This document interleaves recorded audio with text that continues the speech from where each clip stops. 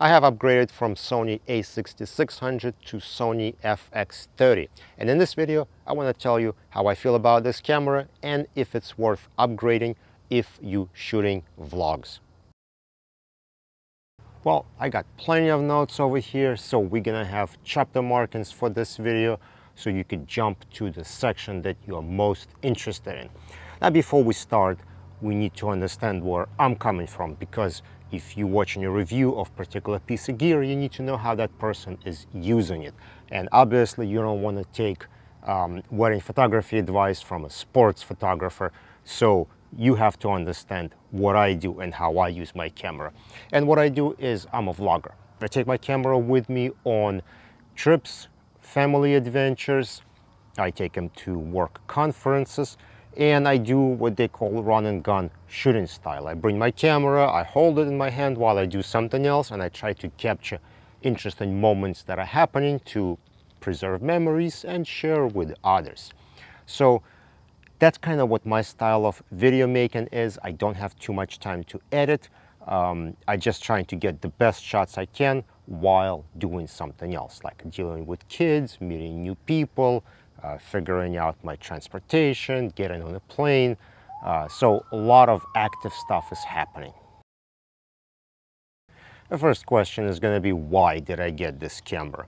And I've been shooting with a6500 first. That's how I started vlogging. Then I switched to a6600. As soon as that flip-up screen came out, I, I had to have it. Made huge difference. And I used that camera for about three years. And uh, once this camera came out, I, I felt like this is the next step for me.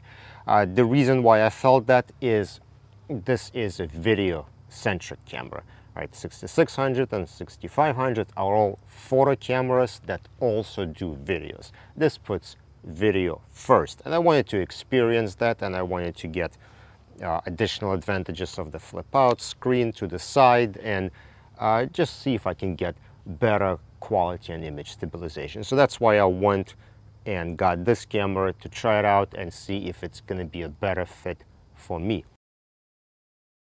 Right, so first we're going to start with two biggest changes from A6600 to FX30 that jumped at me right away. And number one is the on-off switch is not here. This is now a zoom rocker, so your power switch has been moved to the side, which now requires you use two hands to operate it. And of course, if you're used to using 6600, you're going to be hitting that to turn the camera on and off accidentally all the time. Now the second thing that changed is there are no mode dial on top. You have to press the menu button to go into different modes and then use the wheel to select the mode. So those are the two absolutely biggest things that jumped out at me when I started using the camera. And of course the screen flips to the side now, not to the top, but that's kind of obvious. Now speaking of zoom rocker, it's actually more useful now than on a6600 because now I have a dedicated control for it. Uh, before it was a little clumsy to use clear zoom and clear zoom is something that I'm fairly interested in because it gives you ability to zoom in and basically use smaller portion of the sensor yet keeping the video at 4K. So this is actually a welcome upgrade and what I do is I zoom in to my subject and if I don't have enough, I give it a little bit of extra magnification with a clear zoom that I set to zoom rocker. So this is pretty cool. And I imagine this would be good on gimbal when you can have a power zoom lens, uh, but I haven't tested that yet. All right, next let's talk about screen. And as you can see, it flips out to the side as opposed to A6600, which flips up. So what's the difference? Well, whenever you vlogging, just uh, filming yourself, you occasionally glance at a screen. You either check the framing, make sure sound levels are good, and looking up above the lens is actually slightly better. It's not as distracting to a viewer. It kind of looks like you're thinking maybe. When you have screen to the side, it clearly looks like you're looking off to the side of the lens and like what are you looking at kind of um, so if you're going to be using flip to the side screen, You want to be doing very quick glances and not looking at it for too long unless you're wearing sunglasses or something like that. Uh, but I still like the flip to the side screen. I feel like it's less um, obscured by other things. And also you don't need a flash or microphone relocation bracket that you need for A6600 because if you put microphone on top, then it's going to block the screen. You have to relocate the, the cold shoe to the side and then you put the microphone to the side, then screen can flip up. I always felt like that was mildly annoying, not a big deal, but uh, the other thing is we are missing viewfinder in this camera. Theoretically, I would like to have a viewfinder, maybe check things in the bright sunlight, but practically I never used it. So if it saves on weight and cost, fine, let it go. Not a big deal. Now, the other thing is screen is touch sensitive, so it's very nice to be able to use menus with touch. However, I still use the up and down and the scroll wheel to do that.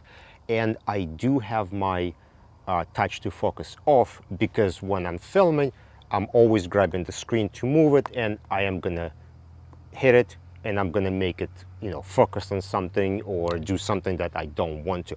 And trying to be careful and carefully open it up, yeah, that's not gonna work, you know. What, what you do is when you film and you just like, you know, kind of grabbing it and closing it, you know, you're not gonna be like super careful.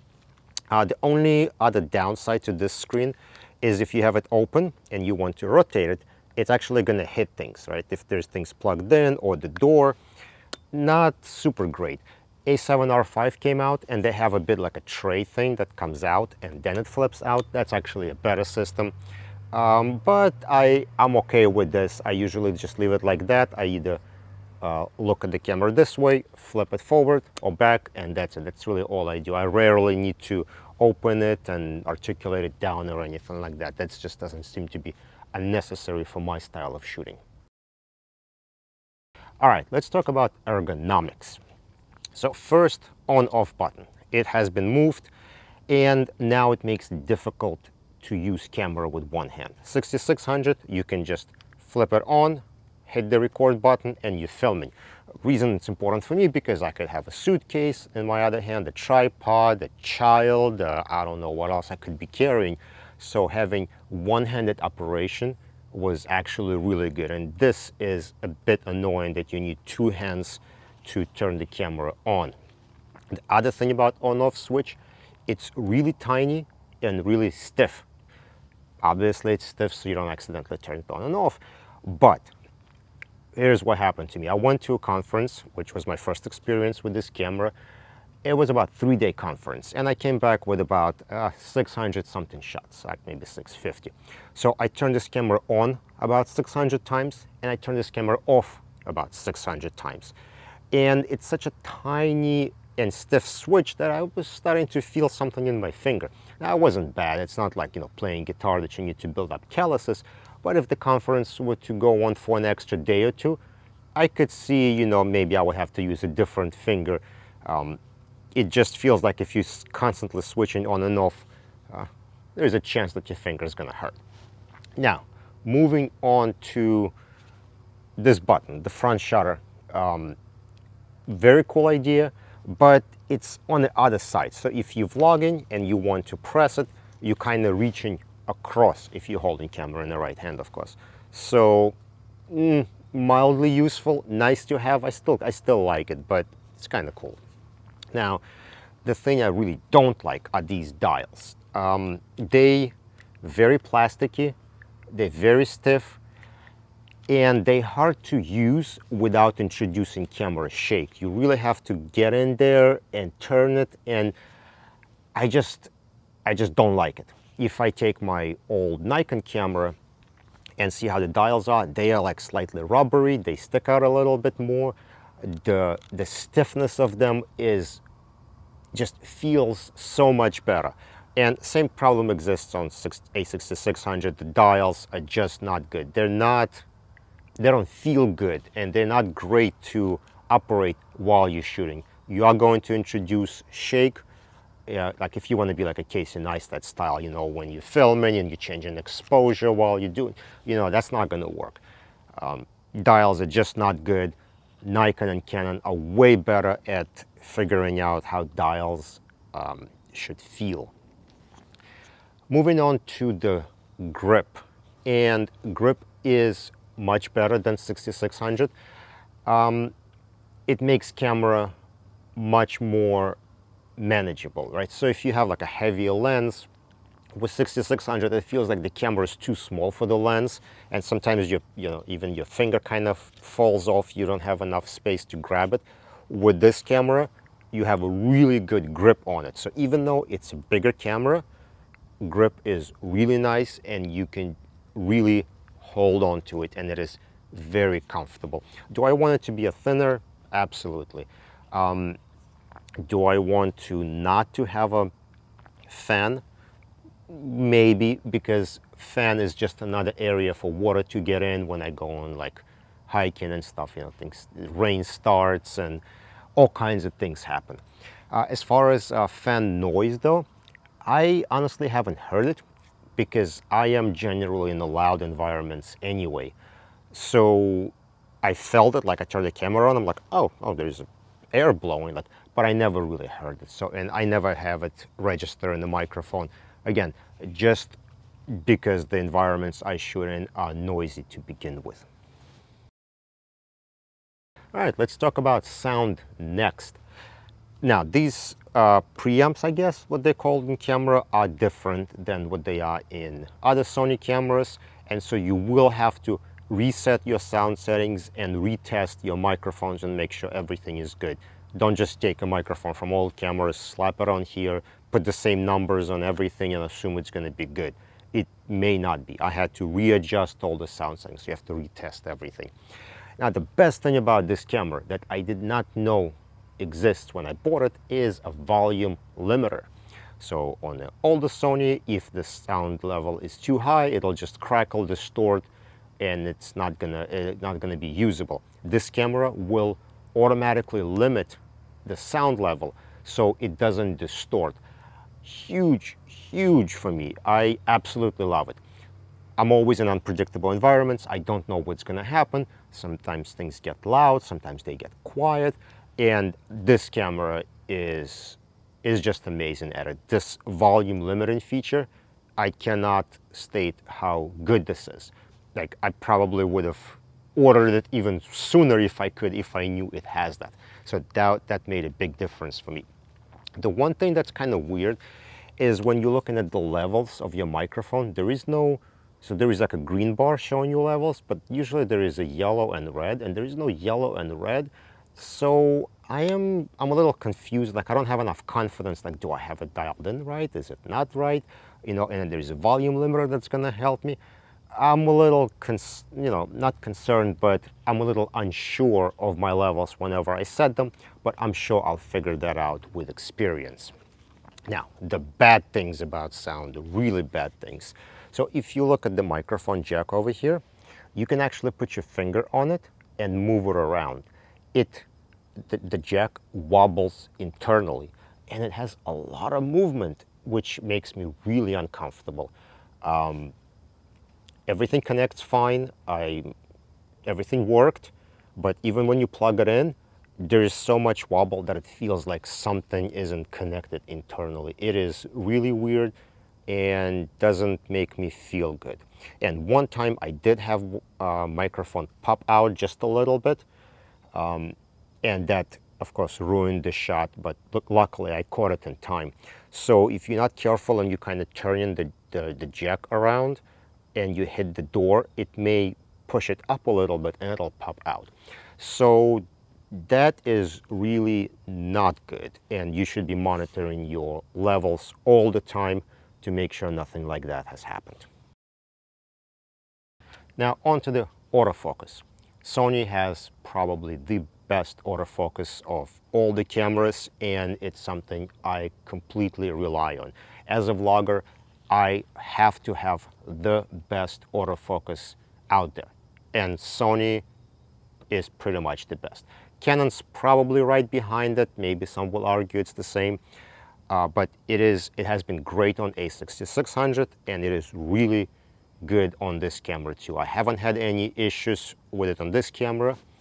Uh, the only little problem I had on A6600 is when you're talking and you have trees in the background and the trees touch the sky, you have this really bright portion on top, tops of the trees, actually probably like that.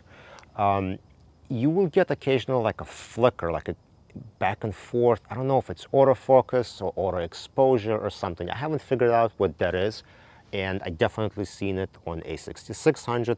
I haven't taken this outside enough to know if this is a problem or not but normal autofocus works really, really well.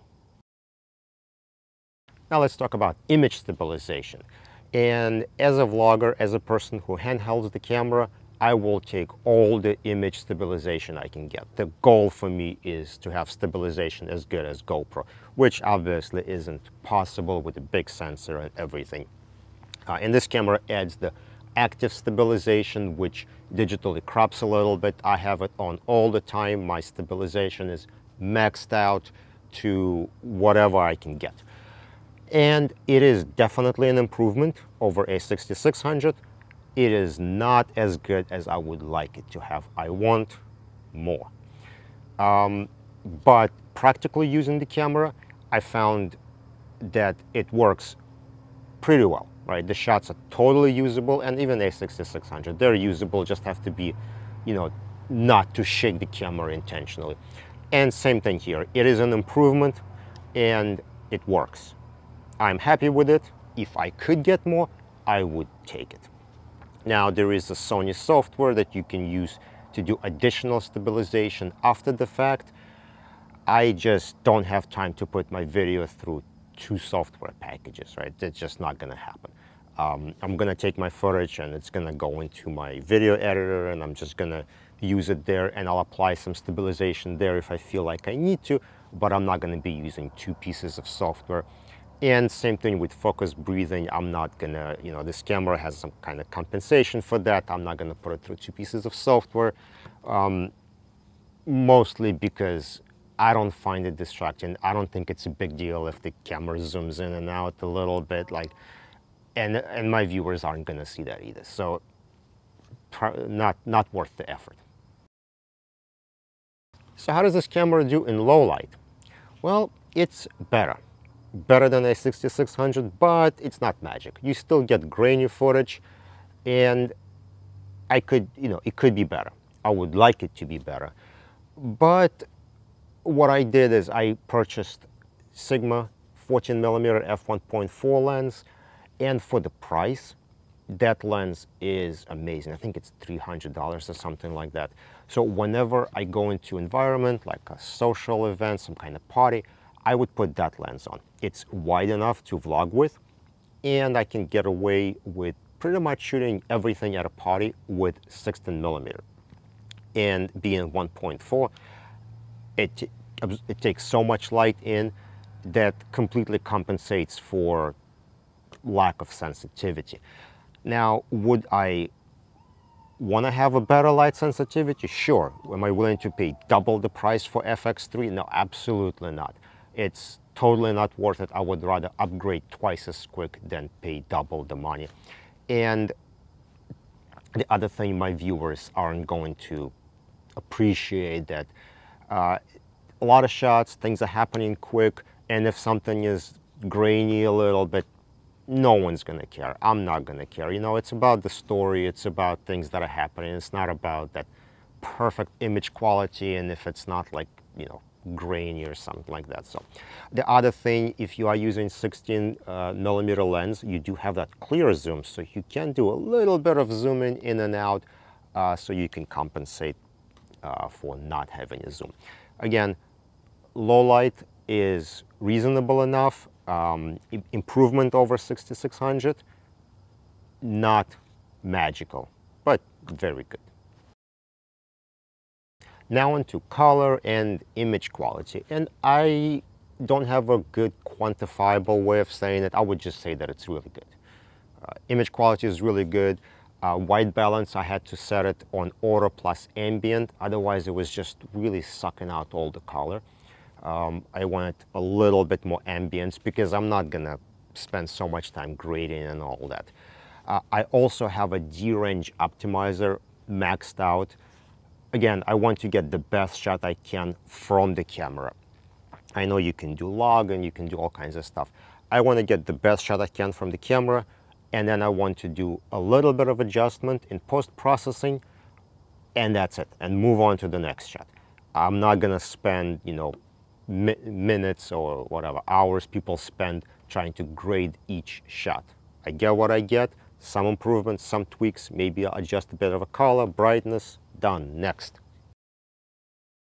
The other thing that's new on this camera are menus. Going from 6600 to this, you will notice a different menus that are touch sensitive, so you can operate with a touch every menu in camera, which is good.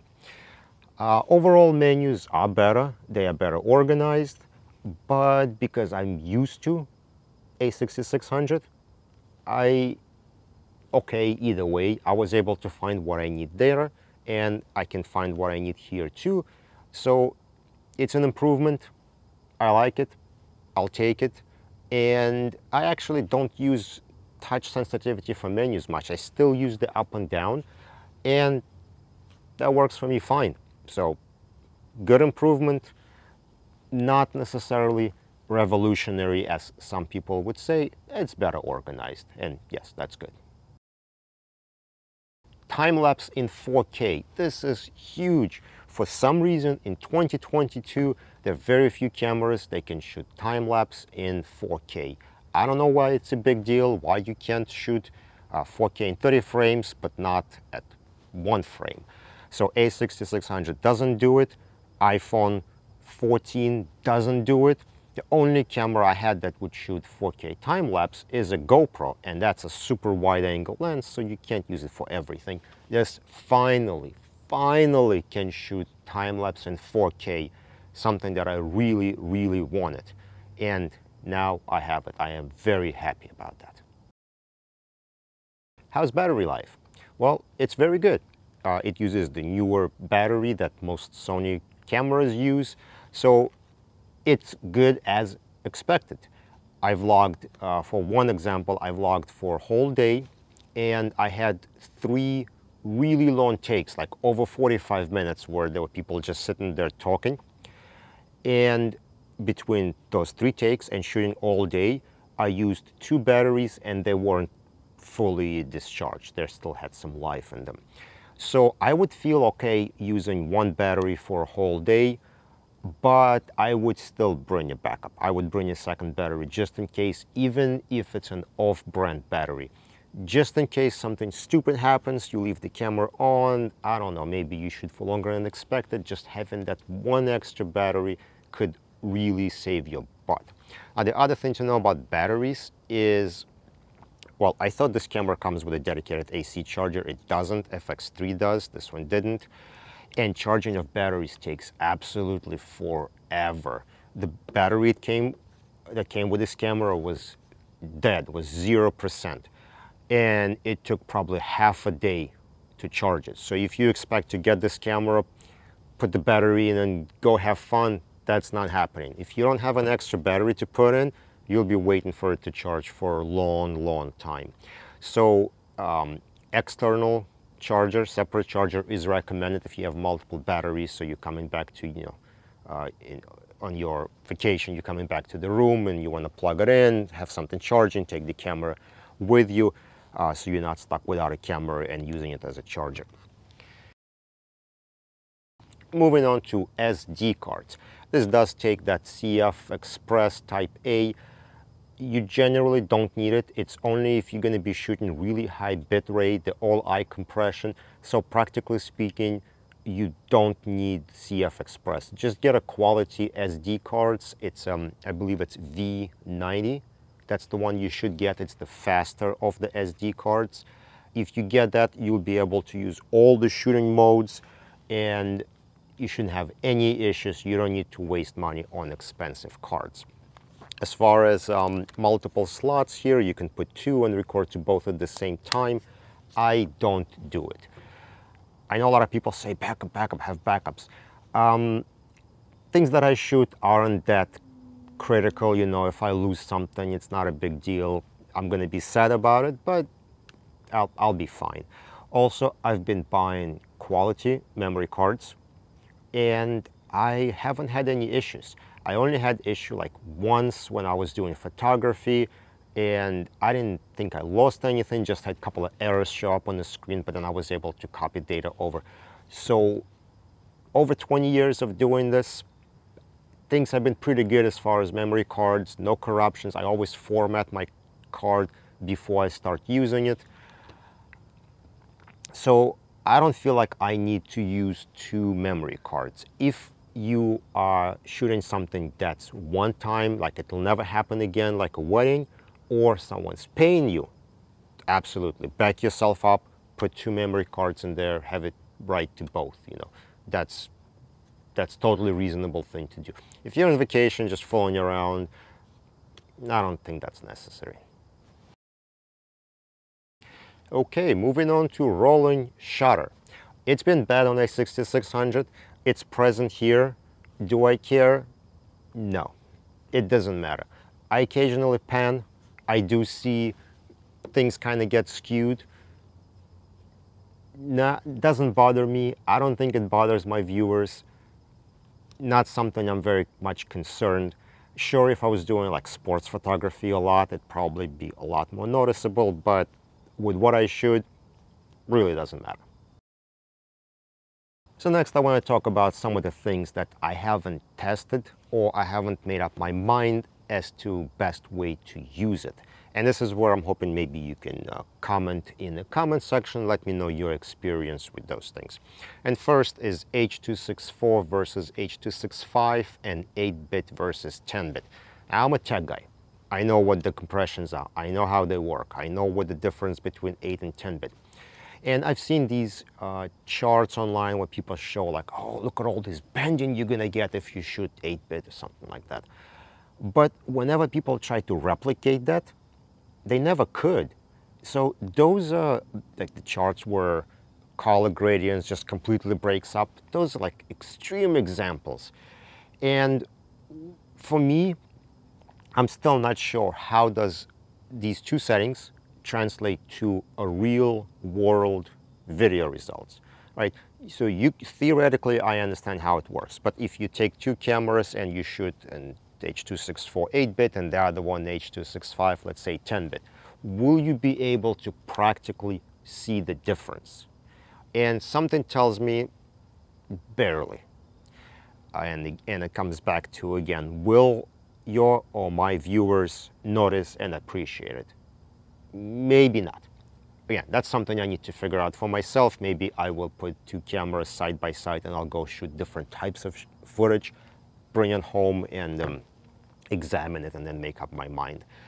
The other thing is log shooting. Again, I don't do that. I know this camera, probably everyone who has this camera is gonna be like log shooting all the way, you know, S-Log 3. I having a bit of difficulty getting better results using log and grading it manually or even with a LUT than what the camera does internally. Either my colors are off or something feels off and I always seem like I put a lot of effort into grading and it's just as good as the camera or not even there. And it doesn't feel like the effort is paying off. Probably me, I need to learn grading better but at the same time, I it may not be worth you know grading 600 shots when I'm trying to put a quick vlog together. Um, the feature that I didn't use in this camera that I should have is called variable frame rate. That's when you shoot indoors under artificial lights, LEDs generally, and you see the lights tend to flicker or you see banding. What this camera should be able to do is adjust frame rate up and down a little bit to compensate for it at the trip I went to recently, I definitely had that on a few shots. Not a big deal, but I should have had turned this on, which I didn't. I completely forgot about it. So that's an interesting thing to, to keep in mind and it should be turned on. And the next thing is a phone control. Um, controlling your camera from a phone is always a pain in the butt. I don't know why it, it disconnects. You have to turn the Bluetooth off. You have to reconnect every time you turn on and off the camera. I don't know. I haven't tried it with this. Maybe at some point I will test that out. So now I want to talk about my wish list, what I wish this camera had that I don't think it does. And number one is whenever you're using presets, sometimes you have to change settings temporarily. And what happens is you, you forget that you have changed them. So perfect example for me would be I'm shooting something and sound gets too low, so I bump up my sound levels. And then a person comes over, goes, hey, Nikolai, how you doing? Haven't seen you in a long time. And then I turn the camera off and we wind up talking.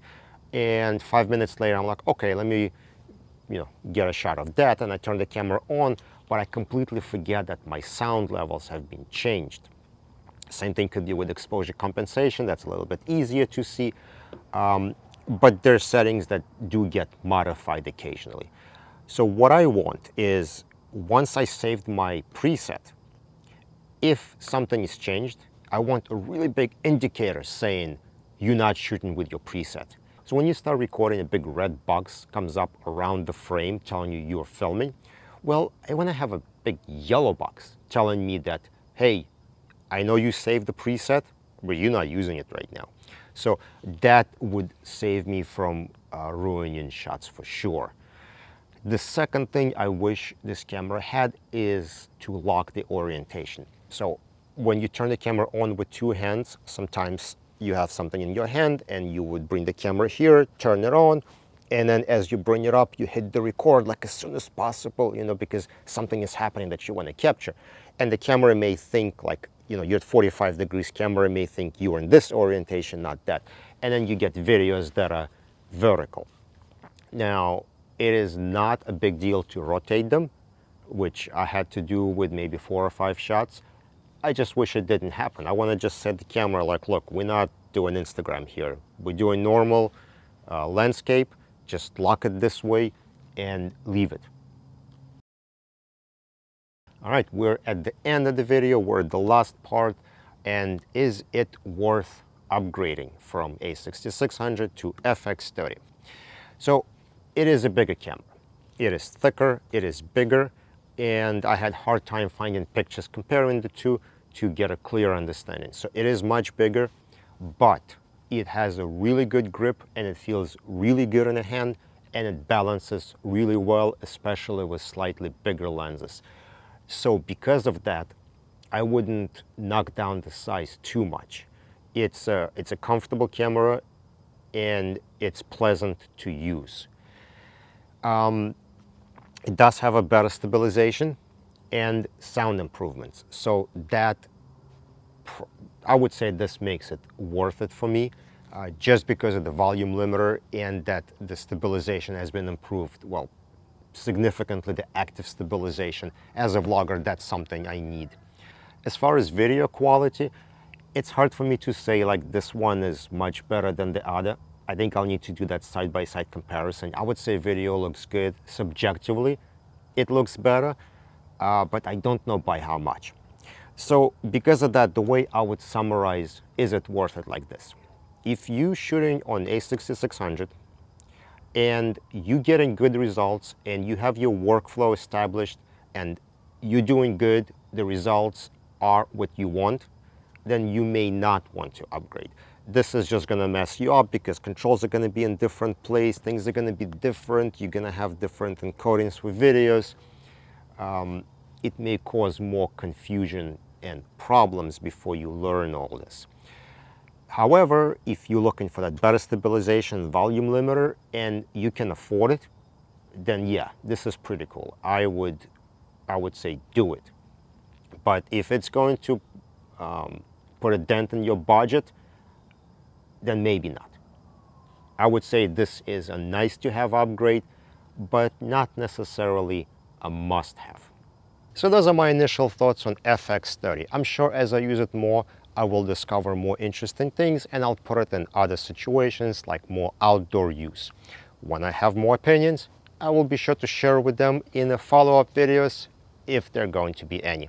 Thank you for checking out this video. See you in another.